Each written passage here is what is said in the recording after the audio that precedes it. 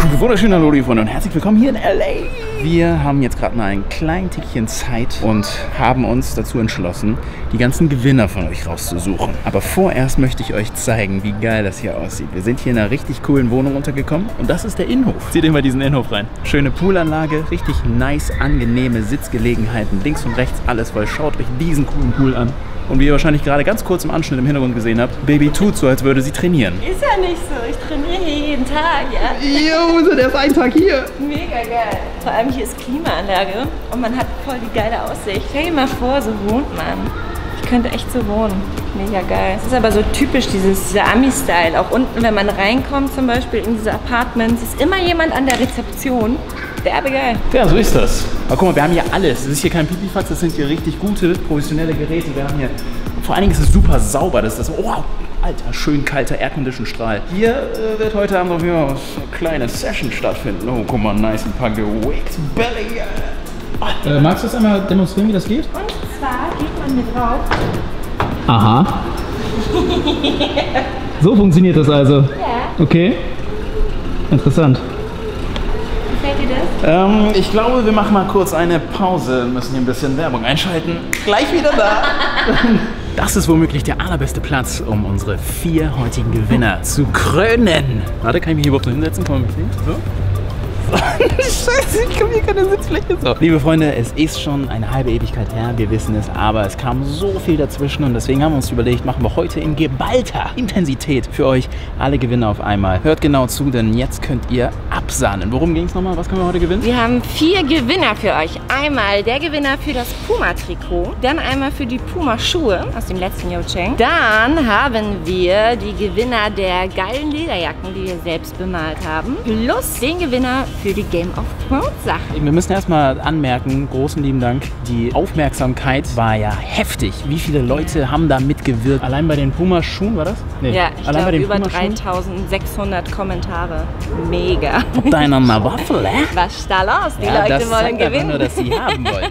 Ja, wir haben alles am Start für euch und jetzt geht es endlich an euch raus. Beginnen wir mit Nummer 1. Du sagtest gerade schön das Puma-Shirt, aber es ist natürlich das Borussia Dortmund-Shirt. Genau, das stimmt.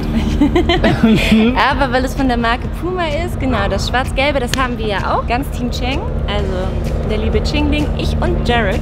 Helikopter in Anflug, er bringt das Borussia Dortmund-Shirt für euch.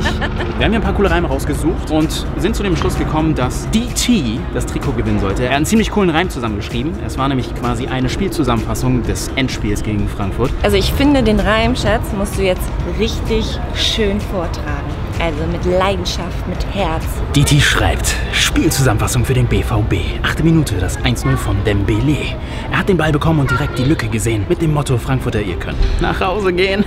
Das 1-1 zur Halbzeit muss man einfach mal hinnehmen. Doch der BVB bleibt cool, denn es muss weitergehen. In der zweiten Hälfte, was ist da denn? Irgendwer fehlt. Es ist Marco Reus. Wie konnte man den übersehen? Aber was ist eigentlich los? Was ist mit ihm geschehen? Er sitzt auf der Bank, denn sein rechtes Bein tut weh. Dann ein Foul im Strafraum. Der Schiri hat's gesehen. Darauf der Elfmeter eine Torchance für den BVB. Und die erneute Führung durch das Tor von Aubameyang. Ey, das war gut. Er heißt ja Aubameyang. Ist Aubameyang. Tricky. Aber der Sieg ist noch nicht sicher. Wie der deutsche Winterschnee. Doch Dortmund gewinnt den Pokal vom DFB. Damit können sie nun in Ruhe nach Hause gehen. Ach ja, das Trikot in schwarz-gelb wäre auch richtig nett. Es wäre als Geschenk gedacht für meinen Dad. Richtig gut. Applaus. Ja, Ich weiß gar nicht, ich weiß jetzt gar nicht, ob wir ihm gratulieren sollen oder seinem Vater, denn dein Vater bekommt dieses Trikot von uns zugeschickt. Yay! Herzlichen Glückwunsch. Bitte schick uns privat auf YouTube eine Nachricht, dass du das gecheckt erhalten hast. Schick uns deine Anschrift und wir schicken dir direkt das Dortmund-Trikot zu.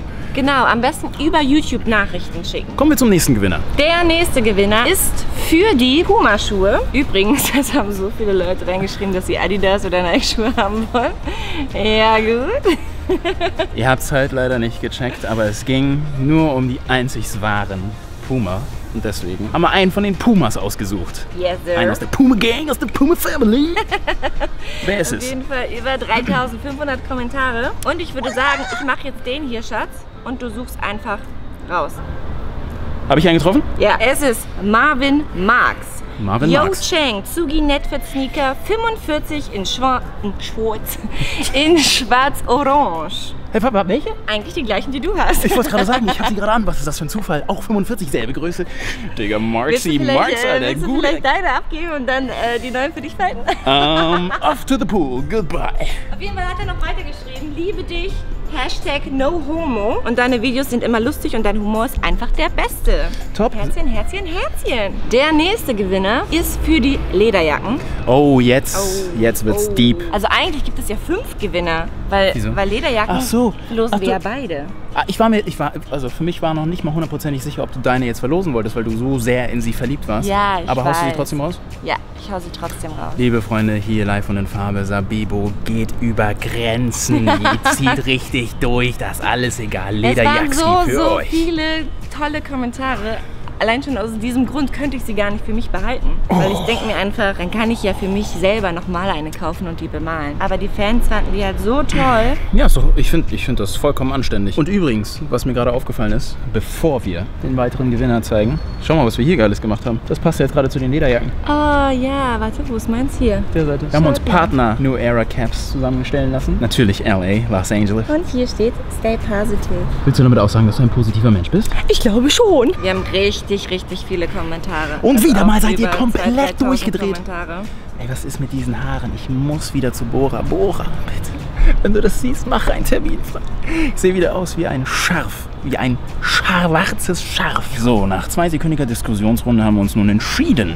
Ja, das war so schwer, weil ihr so, so süße Kommentare geschrieben habt. Das ist auch mal Mann. richtig schwierig. Das Problem ist, ich bin gerade bei 3500 noch was Kommentaren, da eine Person rauszusuchen, ist immer schwierig. Am liebsten würden wir euch allen selbstbemalte Lederjacken schenken, aber dann würden wir 48 Jahre daran sitzen, sie zu bemalen. Und wir hatten zum Schluss wirklich das Prinzip Ene Mine Mu, weil einfach so viele Kommentare einfach so süß waren. Und nach dem Ene Mine Mu Verfahren hat gewonnen bei mir Angela Schwenken, die geschrieben hat, hey ihr zwei, ich hatte super gerne Sabis Jacke, weil die einfach mega mein Style ist und ich die Sachen, die draufstehen, einfach sehr wichtig und bedeutend finde. Ich liebe diesen leichten Hippie-Style, den die Jacke hat, würde mich super darüber freuen. Liebe Grüße, Emoji. Der leichte Hippie-Style, dann passt er zu dir. Ja, Du kleiner Hippie. So, was haben wir denn hier auf der anderen Seite? Die Männerjacke, also meine kreativ gestaltete Jacke gewonnen hat. Awenessa, ist ja auch ein geiler Name. Awenessa Taralom. Geschrieben, hallo Sabibo, hallo Cheng. Ich hätte die Jacke von Cheng sehr gerne, da ich diese echt schön finde. Dein Charakter scheint total korrekt zu sein und da hast du vollkommen recht. ich kann es bezeugen. Und wie du über Dinge denkst und sie auch angehst, schätze ich sehr an dir. Ich behaupte, wir haben sehr viele ähnliche Gedankenwege und Ziele. Wenn ich deine Jacke bekomme, bekommt sie einen Ehrenplatz an meiner Wand. Auf deinem Lebensweg wünsche ich dir nur das Beste, viel Liebe, Glück, Zufriedenheit und Erfolg. Alles Das- Liebe, Julia. Ich würde sagen, das passt ja voll zu deinem Geburtstag. Lieben Dank.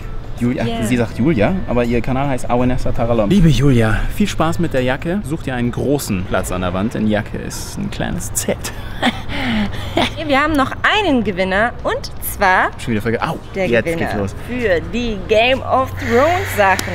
Wenn dieses Video online ist, ist ja die erste Staffel schon fast durch. Wir haben noch nichts Ist gesehen. ja nicht so. Habt ihr schon angefangen zu gucken? Ja, wir sitzen wir hier noch in. LA am Pool, genießen, aber haben noch nicht angefangen zu schauen. Ich werde ganz hibbelig, wenn ich drüber nachdenke. Aber wir wissen, wenn wir zurückkommen, ist es das Erste, was wir machen, Game of Thrones suchten. Beziehungsweise den. Off-Schalter drücken bei unserem Leben. So, jetzt trage ich vielleicht das Ge Gedicht vor. Alles klar. So, der Gewinner ist Freddy. Freddy, ganz geil geschrieben, weil es ist Fred und danach D. So, Game of Thrones von 1 bis 7 muss man einfach grundlos lieben. Dämonen, Drachen, Schnee und Hitze drückt dich richtig in die Sitze. Der Winter naht, das ist echt hart. Jetzt ist er da. Wie wunderbar. Für alle aus den Königslanden, die noch nicht das Messer fanden, sucht ein Schwert und schnagt schnell zu, sonst seid ihr Eis und Staub im Nu. Der dreieugige Rabe hilft dabei, dass ihr überlebt die Sauerei. Halessi und die Unbefleckten kommen bestimmt und helfen John in seiner Armee geschwind. Jetzt brauche ich ein Wort wie Odulis, denn jeder muss sterben, weil er Mogul ist. Dolis. Liebe Grüße, Freddy! Freddy, richtig, richtig geiler Reim, muss ich sagen. Ja. Gefühlt für die Leute, die keine Ahnung von Game of Thrones haben, denen wird jetzt alles gespoilert. Ist ja nicht so. Spaß, viel Spaß mit dem Game of Thrones Monopoly. Alter, hab ich auch richtig Bock, das mal zu zocken. Gut, ja, wir werden jetzt erstmal weiterhin hier in unserem LA Apartment chillen. Bei 40 Grad Pulski. Und dann äh, heute Abend ich da trainieren. Ich weiß ja nicht, was mit dir ist, aber ich bin heute Abend da. Ich auch. Ich muss meine Jogurettis wegtrainieren. Welche? Hier. Ich habe hier Jogurettis. Ich werde hier die ganze Zeit gedisst. Ist ja nicht so. Ist ja so. Ist ja nicht so. Ja, von dir, Baby. Ist ja nicht ja. so. Also, bis dann, ihr Lieben.